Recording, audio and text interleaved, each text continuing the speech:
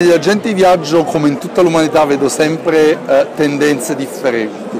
Ci stanno i giovani o quelli che io definisco innovativi, ma per giovani non intendo, non intendo i giovani anagrafici, i giovani nelle idee e nella preposizione che rispetto alla tecnologia si pongono in maniera proattiva e cercano di cogliere opportunità.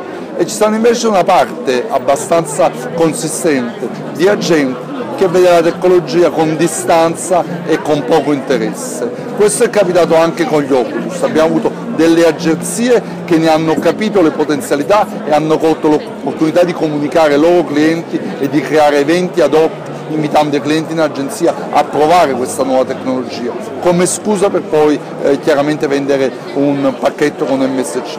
Altri clienti in maniera abbastanza scettica, più legati al divertimento della tecnologia, non hanno colto questa opportunità ma la vivono in maniera passiva. La stessa cosa eh, purtroppo penso avverrà con la presentazione del cardboard dei nuovi cataloghi, ma noi continueremo a impegnarci, noi in prima persona e tutta la forza vendita, per aiutare i nostri partner e colleghi agenti di viaggio a capire che la tecnologia è un cavallo da cavalcare e non da respingere o guardare con scetticismo. Chi ha sfruttato questa opportunità ha venduto effettivamente più crociere?